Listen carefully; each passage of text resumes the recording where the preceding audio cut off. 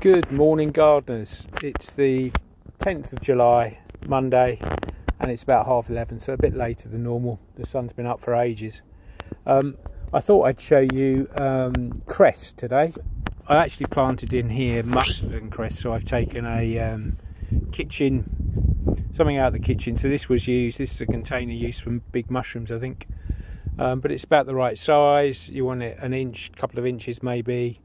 Uh, put in some kitchen roll or tissue or cotton wool even. Uh, make sure it's it, it's damp. That you put water on it, and then sow your seeds uh, quite liberally, um, and they'll just grow. Cover it with cling film, yeah, and um, leave it a few days. So this is um, one I did earlier. This was done on the sixth of July, and it's the tenth today. And look at that; they're all growing. Fantastic. Anyway, onwards and upwards. Like and subscribe if you do.